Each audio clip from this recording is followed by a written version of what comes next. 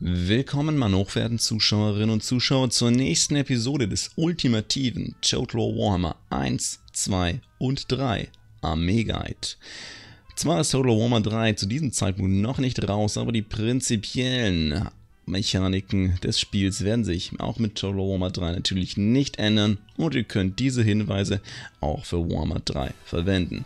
In dem heutigen Video sprechen wir über den zweiten Infanterietyp, nämlich die Linieninfanterie, von der ihr wissen solltet, was sie ist und wie man sie verwenden kann. Dieses Tutorial soll euch helfen, ein bisschen einen Überblick über die verschiedenen Einheiten zu erhalten, die es bei Total Warhammer gibt und wie man sie verwenden kann, ohne dass wir direkt auf die unglaublich große Gesamtzahl an Einheiten und ihre gesamten speziellen ähm, Einbindungsfälle eingehen müssen, auch wenn wir am Ende dieses Videos durch alle Armeen und deren Linieninfanterietypen nochmal gehen werden, um sie zu besprechen. Danke für eure Rückmeldung zum letzten Video. Das hat mir auf jeden Fall gut gefallen und auch Kavallerie und Streitwagen wird es im späteren Verlauf dieser Videoreihe geben. Zuerst machen wir die Infanterietypen durch. Aber genug davon. Was ihr vielleicht noch nicht wisst, wenn ihr mit Total Warhammer anfangt, ist, dass Einheiten nach speziellen Geldmengen eingeordnet werden. So könnt ihr direkt an der Menge des Geldes herausfinden, ist es eine Fleischschildeinheit, ist es Linieninfanterie, sind es Linienbrecher oder Linienhalter oder ist es Elite-Infanterie. Und das klappt relativ gut. Natürlich ist auch das hier ein Kontinuum. Es gibt zum Beispiel Linieninfanterie mit Spezialfähigkeiten, die vielleicht dann ein bisschen teurer werden deswegen. Ähm, aber darauf gehen wir dann bei den speziellen Einheiten der jeweiligen Armeen ein. Die Linieninfanterie ist, wie der Name schon sagt, die Standardeinheit eurer Armee. Es sind Schwertkämpfer, es sind Orkjungs, es sind Zwergenkrieger oder die diversen Elfen-Speerträger, die es in den Armeen hat. Sie reihen sich ein, ah ja, genau, und falls ihr diese Videos mögt, habe ich dieses Folie wieder eingefügt, ähm, lasst gerne den Daumen hoch da, abonniert den Kanal und sorgt dafür, dass der Hamster zu einem glücklichen Hamster wird, sonst wird er zur gehörenden Ratte und das wollen vermutlich auch viele. Gut, also die Linieninfanterie ist etwas teurer als die Fleischschilde, obwohl auch Fleischschilde mit Spezialfähigkeiten in die Preiskategorie der Linieninfanterie hineinragen. Das besprechen wir nachher noch. Über 600 Gold gibt es normalerweise, würde ich nichts mehr als Linieninfanterie einstufen, weil da die Einheiten zu teuer sind. Und das sind die Einheiten, die genau dafür geeignet sind, eure Linieninfanterie zu durchbrechen oder die Linie besonders lange zu halten. Das ist die Linienbrecher-Kategorie, die ungefähr bis 900 Gold geht und darüber hinaus kommen wir in die Region der Elite-Infanterie, die eigentlich so ziemlich alles knackt. Ihr bekommt die Qualität, für die ihr bezahlt. Was sind die besonderen Eigenschaften, die Verwendung von Linieninfanterie? Erstmal prinzipiell im, Konzepte. Die Eigenschaften der Linieninfanterie sind, sie kosten im mittleren Bereich ungefähr zwischen 300 und 575 Gold. Bei 600 gibt es dann schon relativ ähm, klare Grenze bei den Einheiten. Wenn, wenn wir uns die Einheiten nachher ansehen, werden wir das merken. Es ist wie gesagt die komplette Durchschnittseinheit. Falls es, es, gibt teilweise Abweichungen bei diesen Einheiten. Man zahlt dann für etwas schlechtere Werte äh, man, die haben ein bisschen schlechtere Werte, haben dafür aber allerdings eine Sonderfähigkeit. Meistens ist das Anti-Groß oder rüstungsdurchdringend oder sie haben die Schleicherfähigkeit, können Gegner verlangsamen oder machen Giftschaden. Und das sorgt dann dafür, dass manche Einheiten etwas speziellere Anwendungen haben als die Linieninfanterie. Da gehen wir nachher noch darauf ein. Und die Linieninfanterie ist dazu da, einfach zu kämpfen und die Linie für eine Weile zu halten. Sie sind dazu da, eure Fernkämpfer zu verteidigen, vor allem in der Anti-Groß-Variante eure Single Entities, also eure Einzelmodellhelden und eure Monster zu schützen. Sie können auch Fernkampffeuer auf sich ziehen, dafür sind sie immer noch sehr gut geeignet, vor allem wenn sie mit Schilden, was viele dieser Modellklasse tun, in den Kampf ziehen. Sie sind ein deutlich stabilerer Armboss für den Hammer eurer Kavallerie als jetzt eure Fleischschilde, die fliehen einfach häufig zu schnell, als dass ihr sie wirklich gut als Amboss benutzen könnt. Sie, man kann sie immer noch dazu verwenden, um Einheiten vom Schlachtfeld zu jagen. Dafür kosten sie noch nicht zu viel und auch auf jeden Fall noch viel besser dazu geeignet, gegnerische Fernkämpfer, wenn ihr könnt, zu verfolgen und zu binden. Ähm, sie haben dann, wie auch bereits schon erwähnt, manchmal spezialisierte Eigenschaften, wie zum Beispiel, dass sie besonders gut Anti-Kavallerie sind. Hier bei den Bildern, die ihr rechts seht, sind das alles Speerträgereinheiten, die besonders gut gegen Kavallerie sind oder haben andere besondere Funktionen, wie zum Beispiel die fiesen Schlitzer, die gegnerische Regimenter verlangsamen können. Generell hier nochmal ganz, damit ihr es nicht vergesst, Linieninfanterie halten zwar die Linie normalerweise, aber sie werden von Linienbrechern und Eliteinfanterie zerstört und von Kavallerie eigentlich auch. Normalerweise sind diese Einheiten in der Preisklasse zu wertvoll, um sie einfach zu opfern. Also stellt sie nicht einfach irgendwo hin, das, die kosten zu viel, sind zu wertvoll dafür. Beachtet die verschiedenen Variationen, es gibt manchmal welche mit Speeren, mit, äh, mit Schwertern, mit Schilden ohne. Das verändert sich der Anwendungsraum ein kleines bisschen, aber man muss sich normalerweise nicht zu große Gedanken darüber machen. Die Einheiteneinstufung, die ich euch gebe, ist ein Kontinuum. Ihr könnt natürlich auch anderer Meinung sein, was Linieninfanterie ist und was nicht. Aber generell kann man sagen, die Linieninfanterie verschafft euch in eurer Armee Zeit. Sie wird nach vorne laufen, sie wird kämpfen, Sie wird Fleischschilde durchbrechen, sie wird gegen gegnerische Linieninfanterie lange bestehen und ja, gut, gegen, gegen Linienbrecher halten sie nicht so lange durch, aber eine Weile schon. Sie verschaffen euch auf jeden Fall Zeit. Und nur das, das ist ihre Funktion. Die Linieninfanterie verschafft euch Zeit, damit ihr in der Zwischenzeit mit Kavallerie, mit Einzelmodellen oder mit anderen Fernkampfeinheiten den wirklichen Schaden in der Schlacht verursacht. Und wie kann man die so generell einsetzen? Hier mal ein paar Schemata. Wir sehen uns die nachher nochmal in der Schlacht vielleicht ein bisschen an. Linieninfanterie ist wie der Name der sagt, die hauptsächliche Verwendung ist die Linieninfanterie, die vorne steht und ja, die Linie hält. Soweit, so sicher. Ähm, ihr könnt, wenn ihr günstige, noch günstigere Einheiten dabei habt, wie zum Beispiel die Betonen, vor die Linieninfanterie noch einige Fleischschilde stellen, wenn ihr möchtet. Muss aber nicht unbedingt sein. Die Linieninfanterie ist selbst noch so in dem Preissegment, dass man sie nicht unbedingt extra separat noch besonders schützen muss.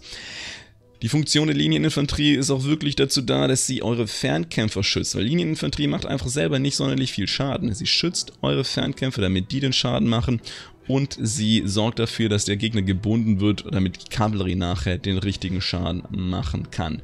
Anti-groß spezialisierte Infanterie, die ich hier auch zu der Linieninfanterie zähle, kann man auch noch dabei haben. Wenn ihr sowas dabei habt, stellt sie hinter eurer Fernkampflinie, wie hier in diesem Schema gezeigt, auf oder alternativ auf die rechte und die linke Flanke eurer Fernkampfarmee damit sie dort die Flanken absichern, vor allem gegen gegnerische Kavallerieeinheiten.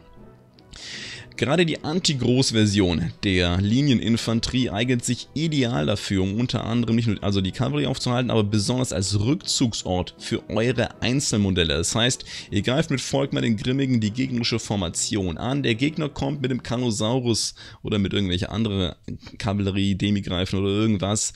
Und dann wird eure Single Entity normalerweise ordentlich zerlegt. Und das scheint besonders die Anti-Groß-Infanterie-Version der Linieninfanterie, nämlich sie kann sich zurückziehen, in, zwischen eure zum Beispiel Hellebardiere und ich garantiere euch, da will kein Kanosaurus rein, da will keine Kavallerie rein. Antigroß, vor allem Antigroß spezialisierte Infanterie ist was, da will der Gegner nicht rein mit seiner Kavallerie. Normale nicht Antigroß Infanterie, gut, da können die rein angreifen, ist schon ganz okay, aber Antigroß, äh, die halten einen dann doch schon eher auf. So, so viel dazu. Falls ihr irgendwelche noch besonderen Fragen habt zur Einsatz der Linieninfanterie oder Antigroß oder einer speziellen Einheit, schreibt sie gerne in die Kommentare und ich schaue, dass ich die dann beantworte. Nun springen wir direkt rein in die Armeekompositionen und die Armeen selbst hier im Spiel besprechen, was wir hier so für Linieneinheiten dabei haben und wie man sie anwenden kann. Hier sieht man zum Beispiel auch wieder ganz klar den Unterschied. Ab 600 Gold gehen wir eigentlich von der Linieninfanterie weg und müssen extra zahlen für so ein Gorherdenregiment, was anfängt deutlich mehr Nahkampfschaden zu machen. Also jetzt sieht den Unterschied, wenn wir von 550 Gorherde auf die, die äh, von der Gorherde mit Schild auf die Gorherde gehen, haben wir 10 mehr Nahkampfangriff. Da sieht man die sollen eher dazu da sein, um die gegnerische Linie zu brechen, wohingegen die Gorherden mit Schilden unter 600 Gold schon deutlich mehr dafür da sind, sind eher zu halten. Gut, aber genug davon. Das sehen wir auch später noch deutlich häufiger. Hier können wir als Linieninfanterie, je nachdem wie man es sieht, Ungur Sperrkämpfer auch noch dazu zählen. Im letzten Video habe ich sie als Fleischschild bezeichnet und da würde ich ehrlich gesagt immer noch dazu stehen. Hier noch ein Kommentar, wurde im letzten Video darauf hingewiesen, unten rechts die Fähigkeit entbehrlich haben die meisten vom Spiel als ja, Fleischschild oder so en, ähm, bewertete Einheit, wobei das nicht unbedingt so, so, unbedingt immer nur 100 so stimmen muss. Entbehrliche Einheiten, wenn die so ein Symbol haben, bedeutet das, dass eure Einheiten, die nicht das Entbehrlich-Symbol haben, dass es denen egal ist, wenn diese entbehrlichen Einheiten flüchten. Nur andere entbehrliche Einheiten werden davon beeindruckt, wenn entbehrliche Einheiten fliehen. Toll, die haben sehr häufig entbehrlich benutzt. Gut, bei den Tiermenschen ähm, sind die Einheiten generell ein kleines bisschen teurer, gerade Ungor-Sperrkämpfe und Ungor-Herden, die sind nicht so, so mega gut in ihren Nahkampfwerten für Linieninfanterie. Man zahlt hier ein bisschen extra, weil sie die Urwutfähigkeit haben, um ihre Nahkampf- und Geschwindigkeitswerte zu buffen und natürlich für Schleichen, da mal der Punkt, ja, ähm, ein bisschen teurer werden sie immer, wenn sie Spezialfunktion haben. Ansonsten Gore-Herden mit Schilden, Stürmen auf den Gegner. Generell kann man hier wirklich nicht wirklich nicht super viel Besonderes sagen. Gore-Herden, Ungo-Sperrkämpfer, Ungo-Herden, die gehen vor, ganz typische Linieninfanterie vor und kämpfen. Ähm, Gore-Herden mit Schilde eher ein kleines bisschen aggressiver aber jetzt auch nicht mega viel stärker als zum Beispiel die Standard-imperialen Speerkämpfer. Also erwartet euch echt nicht zu viel. Es ist eben typische Linieninfanterie. Groherden, Ungur-Speerkämpfer und Ungerherden gehen vor und kämpfen. Erwartet nicht, dass die irgendwie den Gegner großartig davon abhalten, euch anzugreifen oder durch die Linie zu brechen. Das ist Linieninfanterie. Erst ab Groherden fangen die an, richtig den Gegner Platz zu machen. Oder hier die Zerstörer vom Drakenwald, die dann noch besonders äh, Eigenschaften Gift haben. Deswegen sind die ein bisschen teurer. Gehen wir zur nächsten Armee, die Bretonen. Und die haben besonders viele Fleischschilde, wie wir im letzten Video gesehen haben. Ich verlinke es oben beim i, wird vorher schon eingeploppt sein. Hier gibt es ein richtig großes Kontinuum. Bauern die definitivsten Fleischschilde, Landsknechte ohne Schilde und Speerknechte ohne Schilde ebenfalls. Dann geht es in die Richtung Landsknechte mit Schilden und Speerknechte mit Schilden. Die sind schon deutlich besser in der Lage, die Linie zu halten, einfach weil sie gute Nahkampfabwehr hier von 38 haben und 34 und schon anfangen dediziert einen kleinen Hauch anti-groß zu sein. Aber bei Speerknechten, das ist jetzt die Standard-Anti-Groß-Variante von Linieninfanterie, die dafür, also wenn ihr so eine Speerknecht-Einheit mitnehmt anstatt Schwertkämpfer, dann könnt ihr euch eigentlich immer sagen, okay, die Speereinheit hat mehr Nahkampfabwehr als die Schwerteinheit. Das ist mal ganz üblich und wenn ihr ein Schild dabei habt, bekommt ihr auch nochmal ein bisschen mehr Nahkampfabwehr dazu. Die Speerknechte sind zwar anti-groß, aber macht euch keine Hoffnung, dass sie wirklich gut anti-groß sind. Das Problem ist, dass sie einfach nicht sehr viel Schaden machen, vor allem gegen die meisten großen gepanzerten Ziele, weil ihr rüstungsdurchdringender Schaden nicht sonderlich hoch ist. Da müssen wir eher zu der, und das habe ich vorhin angemerkt, spezialisierten ähm, Anti-Großlinieninfanterie gehen, nämlich die Landsknechte mit Stangwaffen. Auch die gibt es in vielen Variationen, in vielen Armeen. Ähm, die werden markiert durch dieses Bonus gegen Großsymbol und durch den rüstungsdurchdringenden Schaden. Oben rechts beim I das auch vorher irgendwann eingeploppt sein wird. Er kann mich erklärt, was das alles bedeutet. Schaut mal rein bei meinem, bei meinem Einheitenwerte-Tutorial. Die sind schlechter normalerweise im Kampf gegen andere Infanterie. Nahkampfangriff sehr, sehr niedrig, nur 22. Die Landsknechte haben 27.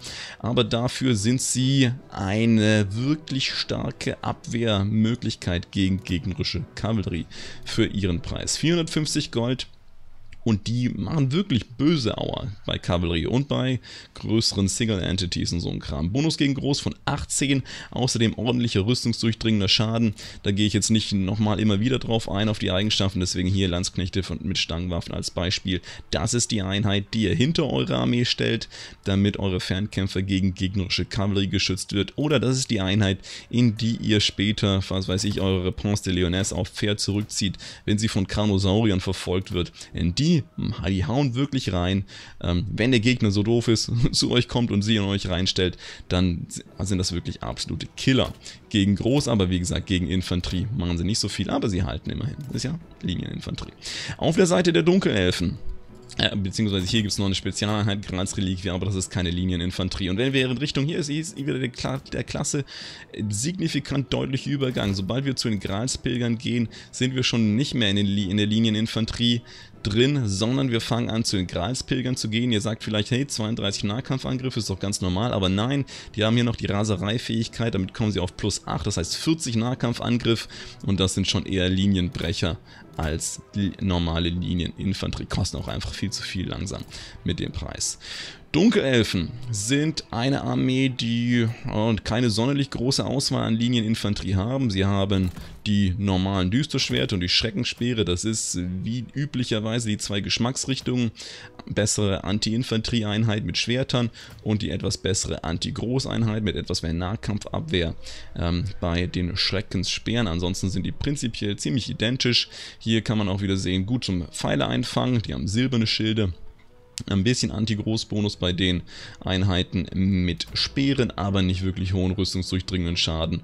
Also erwartet nicht, dass die für lange Zeit auch gegen gegnerische Kavallerie sich durchsetzen werden. Also klar, wenn der Gegner lange in denen drin steht, dann machen sie irgendwann Schaden, aber das ist, sind einfach nicht gut genug dafür. Da müsst ihr dann eher Fernkämpfer mitbringen oder Elite um gegnerische Kavallerie so richtig schön zu bedrohen. Noch kleiner Hinweis für euch, die ganzen Einheiten mit Speeren haben in allermeisten Fällen Ansturmabwehren gegen Groß. Die negiert, wie es hier drin steht, den Angriffsbonus jeden großen Angreifers, also Kavallerie. Angriffsbonus ist dieses Symbol hier, äh, das untere. Das heißt, in dem Moment, in dem der Gegner angreift, bekommt er diesen Bonus auf seinen Nahkampfangriff und seine Waffenstärke. Und das wird eben negiert, wenn, wenn so eine Anti-Groß, Ansturmabwehren gegen große Einheit steht und den Angriff von vorne aufnehmen kann. Wir gehen weiter zu den Zwergen. Zwerge haben besonders viel Linieninfanterie ähm, beziehungsweise so Einheiten, die so ein bisschen dazwischen sind. So viele ist es eigentlich nicht. Man kann die Bergwerker, im letzten Video habe ich auch die als Fleischschilde bezeichnet, sie sind eigentlich auch nicht gut genug für, für Linieninfanterie. Ich meine, sie kosten deswegen über 300, weil sie so viel Rüstung haben und so viel Führerschaft, was uncharakteristisch ist. Aber was Fleischschild angeht, ist es eben eine Fleischschildeinheit für die Zwerge und die Bergwerker sind eigentlich auch nochmal ein Fleischschild, aber noch teurer wegen Sprengladung. Eigentlich sind die richtigen Linieninfanterieeinheiten der Zwerge die Zwergenkrieger hohe Nahkampfabwehr, halten eine Weile, gute Rüstung und die Zwergenkrieger mit Zweihandwaffen. Hier gibt es nochmal jetzt eine Variation der Linieninfanterie. Die Zwergenkrieger mit Zweihandwaffen sind ein bisschen besser darin, gegnerische Rüstungs-, äh, gepanzerte Einheiten auszuschalten.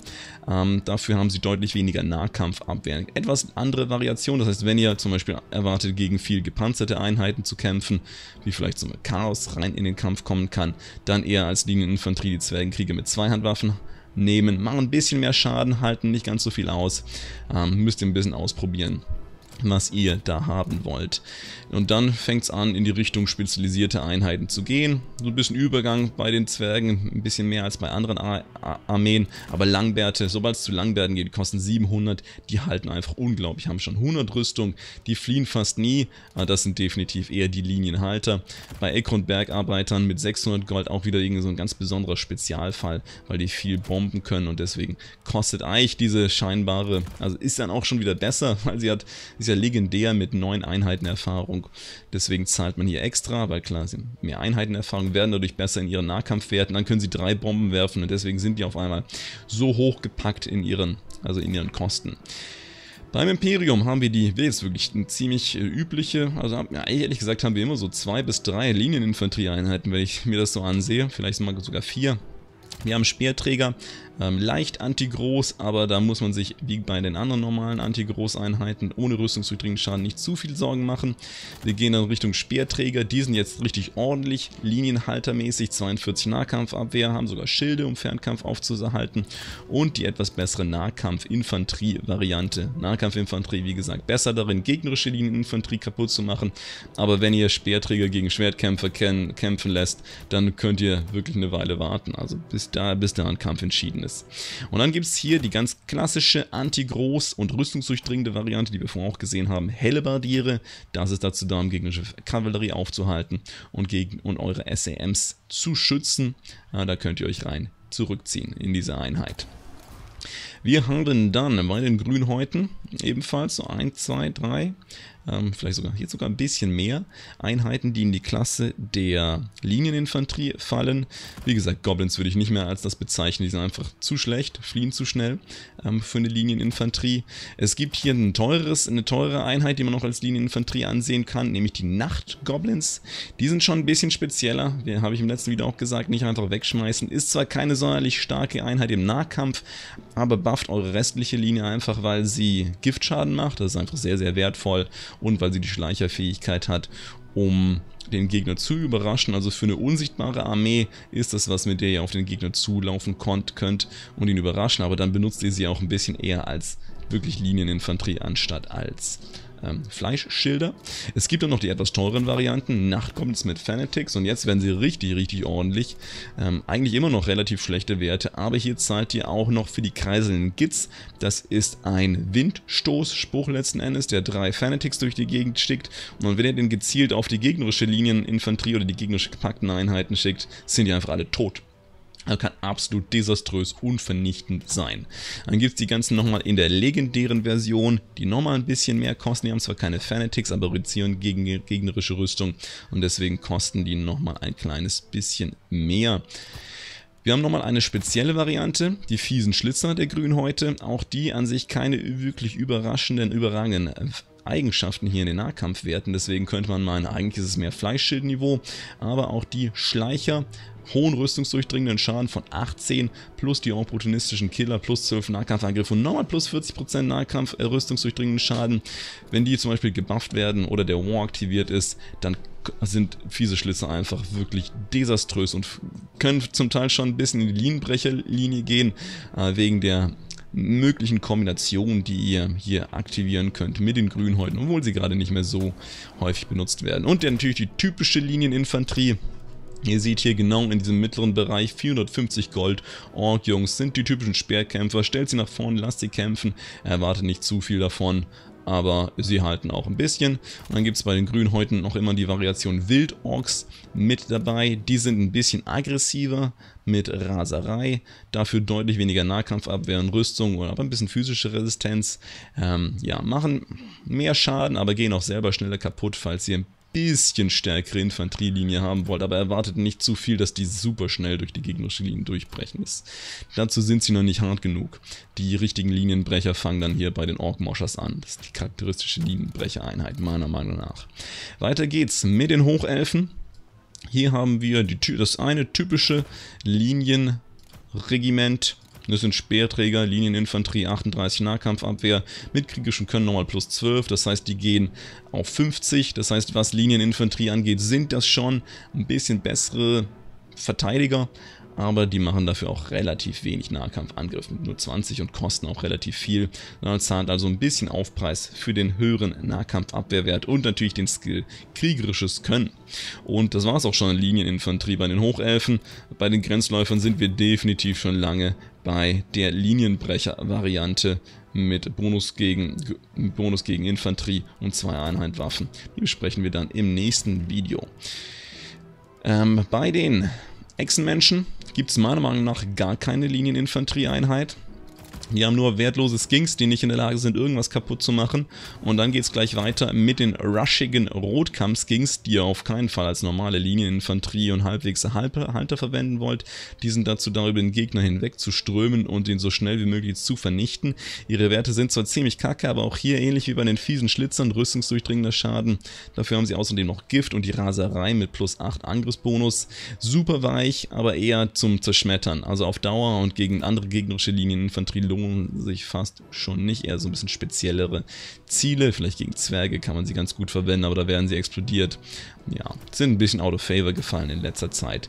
Und in der weiteren teureren Variante äh, fangen die Echsen mit 800, haben 800. Also die, die Saurus-Krieger der Echsen sind schon eine ganz besondere Variante, die eigentlich viel in der Lage sind, richtig viel Schaden zu ha machen. Eher in der Richtung Linienbrecher-Infanterie als, also Linienbrecher anstatt Linieninfanterie selbst. Gehen wir noch zu den Norska als nächstes. Hier haben wir wieder die typischen zwei Varianten, normale Schwertkämpfer und Speere. Zahlt man einen leichten Aufpreis für die Zaunfähigkeit, die die Norska haben, aber hier nichts Besonderes. Und hier gibt es dann die dritte Variation, Barbaren mit Zweihandwaffen, haben wir auch schon gesehen bei den Zwergen. Interessanterweise auch genau der gleiche Preis, 500 Gold, genauso wie die Zwerge mit Zweihandwaffen auch 500 Gold kosten. Ist halt die etwas rüstungsdurchdringendere Variante. Ähm, und ja, dann geht es schon weiter. Eisgeborene Barbaren mit 600 Gold schon eher deutlich teurer. Haben auch außerdem einige extra netten Bonis, wie die perfekte Vitalität. Viel bessere Werte. Das ist dann eher nichts, was ihr einfach nur als normale Linie einsetzen wollt. Ich meine, ihr könnt damit eure Linie waffen, klar, das geht immer. Aber schon recht teuer. für einfach nur Linieninfanterie. In der Richtung Skaven gibt es viele Einheiten, die man so ein bisschen als Übergang, Fleisch, Schild und Linieninfanterie vielleicht betrachten kann. Ähm, die Skaven-Sklaven gehören natürlich zu den Fleischschilden. Clanraten kann man vielleicht immer noch dazu zählen, aber spätestens hier in Richtung Clanraten mit Schilde und Clanraten mit Speeren und Schilden ähm, sind die schon noch relativ teuer. Die Nahkampfwerte sind auch ganz okay mit 28 Abwehr und 18 Angriff. Das ist das, was ihr in die Linie packt. Die werden auch in der Lage sein, eure Linie zu halten gegen gegnerische Linieninfanterie. Da müsst ihr euch keine zu großen Sorgen machen im Vergleich zu Skaven-Sklaven, ähm, die da nicht halten werden. Es gibt noch eine etwas teurere Variante mit den Schwanzschlitzern, wie alle legendären äh, Regimenter. Falls ihr das noch nicht wisst, ihr könnt einfach euer normales Regiment nehmen, ganz viele Einheitenringe draufpacken, dann sind die Nahkampf-, Angriffs- und Abwehrwerte normalerweise gleich. Allerdings ähm, äh, ist da noch ein, meistens ein extra Bonus in diesen Elite-Einheiten drin. Das heißt, die, die sind immer besser. Also sie sind immer besser als das normale Regiment und kosteneffizient. Ihr seht es hier 550 gegen 500 Gold und dann haben sie noch Feuerresistenz und Feuerschaden. Ja, ja, dafür zahlt man halt extra. Bei den Gruftkönigen haben wir als Linieninfanterie die helkastischen Krieger. Die sind ein bisschen Richtung offensiv. Man kann, wenn man will, eigentlich auch Skelettkrieger und Skelettspeerträger als Linieninfanterie bezeichnen. Ich meine, die halten schon, sind gehen eher, das ist so ein bisschen ist halt eine andere Art und Spielweise bei den Gruftkönigen. Eigentlich sind es Fleischschilde, die machen nicht wirklich viel Schaden für Schwertkämpfer und Skelettspeerträger, aber sie halten eben deutlich länger, weil sie eben Skelette sind und unbrechbar sind. Dann gibt es noch die neokrastischen Krieger, die sind schon Ah, auch so eine, eine, besondere Einheit, die fast schon so in Richtung ähm, Linienbrecher geht, dafür allerdings noch relativ günstig ist und auch nicht sonderlich hohe Nahkampfangriff und Abwehrwerte hat. Die geht ja, jetzt äh, so richtig Linieninfanterie. Na, okay, das, das ist die Einheit, die rausfällt. Das ist die Einheit, die von der Preisklasse wirklich eher am ehesten rausfällt und ähm, ich eher in die Linienbrecher ähm, Truppe schicken würde, obwohl sie jetzt auch nicht megamäßig gegnerische Linien weghaut. Also die nehmen auch einfach selber noch so viel Schaden. Ja. Okay, so viel dazu. Gehen wir zur Richtung Vampirküste. Vampirküste, die Linieninfanterie der Vampirküste ist eigentlich, wenn man es genau nimmt, gleichzeitig ihre Fleischschilder. Da kann man bei der Vampirküste kaum unterscheiden. Horden der Zombie, vielleicht noch eher bei der wirklich Fleischschild-Variante. Die Horden der Zombie-Piraten-Deckarbeiter mit Stangenwaffen sind eigentlich auch nicht in der Lage, wirklich viel Schaden zu machen. Aber wegen Anti-Groß und dem doch echt üblen rüstungswidrigen Schaden von 19 schon wieder eher die Kavallerie-Verteidigungsversion als die normalen Zombies. Ja, dafür zahlt man auch. Also die sind schon gefährlich, ist auch Anti-Kavallerie. Dann gibt es noch den legendäre Flut von Skjold. Die haben perfekte Vitalität, mehr Führerschaft, mehr Nahkampfangriff, aber generell ja auch nur normale Linieninfanterie, die steht und hält. Und sobald es hier in die höhere Preisklasse geht, seht ihr, na, das ist nicht mehr Linie. Das, das hat schon sehr spezielle Anwendungen und soll eher den Gegner durchbrechen. Bei den Vampirfürsten haben wir auch so ein bisschen Varianten. Äh, die Linien, äh, die, die Fleischschilde sind bei den Zombies. Dann geht es zu Skelettkrieger und Skelettspeerträger. Das ist auch so ein Wackelkandidat. Ist es noch Fleischschild? Ist es schon Linieninfanterie? Kann man sich darüber streiten. Generell verlieren die den, den Kampf gegen andere Linieninfanterie, aber sie halten halt ziemlich lange, weil sie unbrechbar sind und nicht fliehen werden. Und vielleicht möchten, würden manche Zuschauer Gruftgule eher als Linienbrecher ansehen, aber ich habe die auch ausprobiert, wenn man die gegen gegnerische Speer Schwertkämpfer oder so schickt, dann schlagen die sich nicht sonderlich gut, die brauchen auch Ewigkeiten, um durch Gegner durchzukommen oder verlieren dann sogar gegen gegnerische Linieninfanterie. Gruftgule müssten vielleicht, damit sie eine bessere Funktion bekommen, etwas teurer werden und dafür auch etwas bessere Nahkampfangriffswerte bekommen, damit man sie ein bisschen häufiger benutzt. Hier gibt es nochmal ein etwas besseres, das, das ist so eher ein typisches Linieninfanterieregiment, ähm, gibt es halt nur einmal als legendär mit Nahkampfwerten, die schon ganz ordentlich sind, 24 und 29, 60 Rüstung und Gift, das kann man dann schön in seine Linie stellen. Hält auch halbwegs, im Gegensatz zu den Skeletten, Skelett-Speerträgern. Ähm, Weiter geht's zu den äh, Chaoskriegern. Chaoskrieger haben hier wieder die zwei Varianten normale Infanterie als Linieninfanterie und dann die Chaosbarbaren mit Zweihandwaffen mit der rüstungsdurchdringenden Variante hier ganz leicht unter 500 Gold ähm, im Vergleich zu den Zwergen und der Norska-Version, die wir gesehen haben. Hier gibt es noch eine ganz besondere Variation, die aufstrebenden Champions, auch in der Preisklasse her von der Linieninfanterie, wird vermutlich auf Dauer gewinnen gegen gegnerische Linieninfanterie wegen der hohen Rüstung und der hohen Nahkampfabwehr und den doch ordentlichen Nahkampfangriffswerten. Das Problem mit ihnen ist, sie sind nur zwölf Modelle, bis die sich durch eine gegnerische Armee oder gegnerisches Regiment durchgeschlagen haben, brauchen die schon eine ziemliche Weile, halten an sich auch ganz gut. Ähm, ja, ist ist schon eher Linieninfanterie. Erwartet nicht von der aufstrebenden Champions, dass sie durch die gegnerische Linie brechen. Die stehen, die kämpfen, ähm, können ein bisschen halten, aber erwartet es keine besondere Mega-Performance von denen. Bei den Waldelfen sehen wir wieder die typischen Elfen-Variationen, beziehungsweise sogar ein bisschen mehr. Wir haben einmal die ewige Wache, hier haben wir sogar die Option, die Linieninfanterie ohne und mit Schild mitzubringen. Ähm, hier kann man schön sehen, rüstungsdurchdringender Schaden und Anti-Groß, also ziemlich gefährlich für gegnerische gepanzerte Infante äh, Kavallerie und ja, kann sich auch gegen Infanterie hält sie ganz gut, gerade mit dem Nahkampfabwehr 44. Und die Waldelfen haben dann auch noch eine erneut, ja, es ist, gucken wir uns mal die Neokrasischen Krieger an. Ich glaube, hier gibt es doch noch die Ausnahme, die Ausnahmesituation. Naja, klassische Krieger und Dryaden sind beide leicht unter 600 Gold. Das ist die einzige Ausnahme, die ich hier wirklich als Ausnahme akzeptiere. Mano, Zuschauerinnen und Zuschauer, die leicht unter der 600 Gold Grenze sind, aber trotzdem eher klare, ähm, eher in Richtung der Linienbrecher gehen. Die gewinnen normalerweise gegen gegnerische Linieninfanterie. Nicht ganz so hart wie die neokrassischen Krieger, obwohl die neokrassischen Krieger würden auch gewinnen, obwohl die Trianen gewinnen auch gegen Linieninfanterie, aber sie brauchen schon eine Weile und nehmen im Gegenzug auch ziemlich viel Schaden. Ja, ja, okay. Neokrassische Krieger, Triaden gehen schon eher in die Richtung der Linienbrecher, so ein bisschen am Rand des, des Kostenpunktes. Auf der anderen Seite ist die ewige Wache auch relativ gut als Linienhalter mit 44 Nahkampfabwehr. Ähm, dabei muss man aber wirklich unterscheiden. Triaden Triaden und neokrassische Krieger sind deutlich aggressiver, aber äh, denkt nicht, dass die zu verwechseln sind mit den Vampirfürsten Gruftgulen.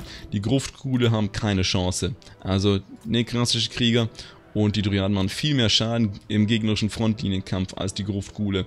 Äh, von denen könnt ihr keine ähnliche Performance erwarten. Ja, aber ich würde mal sagen, es passt trotzdem ordentlich. Ich meine, vielleicht kann man sagen, hey, Hamster, setz deine, seinen Goldunterschied nicht bei 600, sondern bei 550, aber das würde meiner Meinung nach auch nicht wirklich richtig passen. Ähm, abgesehen von diesen zwei Einheiten, der klassische Krieger und den Dryaden, würde ich diese Grenze schon eher hier bei 600 setzen.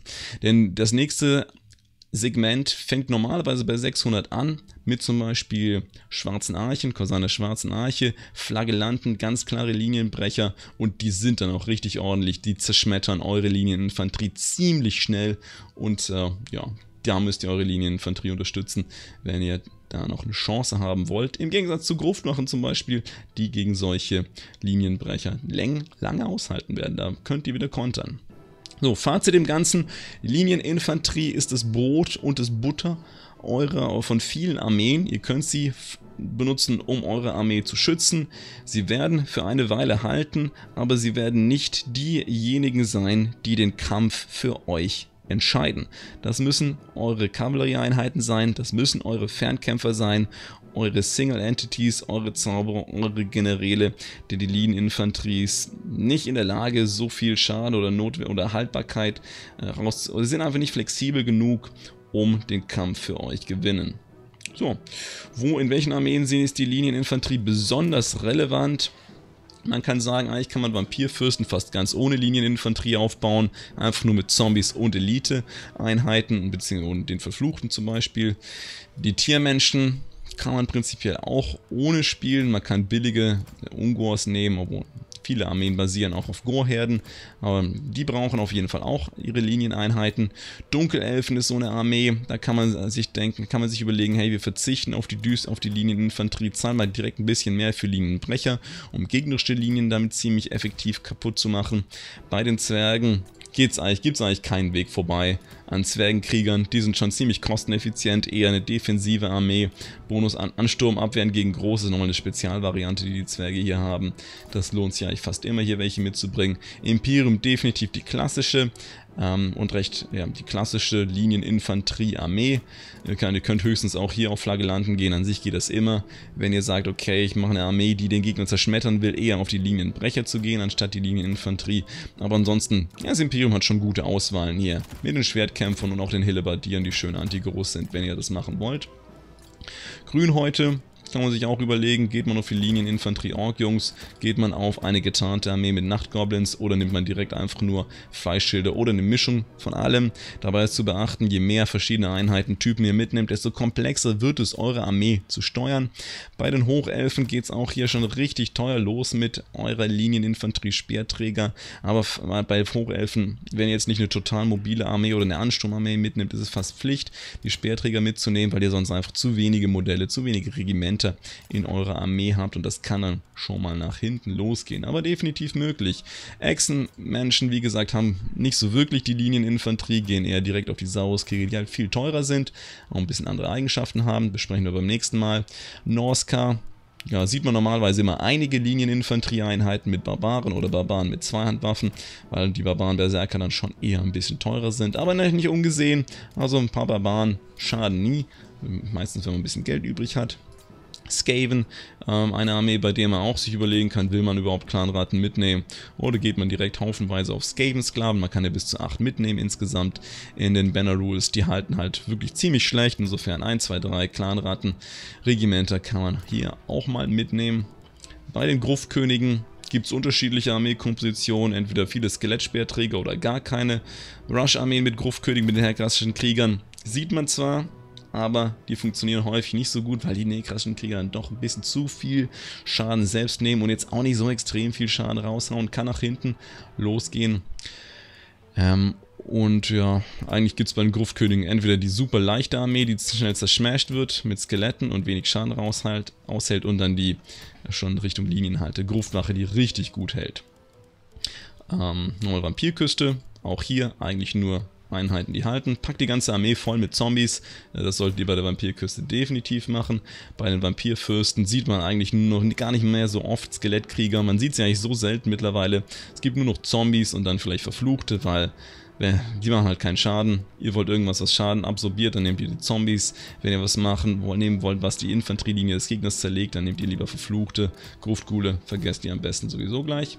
Im momentanen Patch bei Chaoskrieger, ebenfalls hier Chaosbarbaren. Chaosbarbaren mit zwei Waffen kann man mitnehmen, wenn man Lust hat. Ansonsten direkt auf die Linienbrecher und Halter mit den Chaoskriegern und Verstoßenen gehen.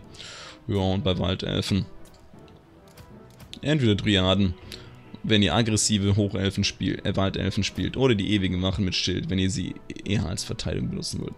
Beides möglich, kann man mit beidem rechnen. Okay, so viel dazu. Ich bedanke mich fürs Zusehen. Ich hoffe, es hat euch gefallen. Lasst gerne den Daumen hoch da und das Abo. Und wir sehen uns beim nächsten Mal, wenn Hamster Ewigkeiten über einzelne Regimentsklassen spricht und wie man sie einsetzt. Wo gibt's das sonst, wenn nicht hier im Internet?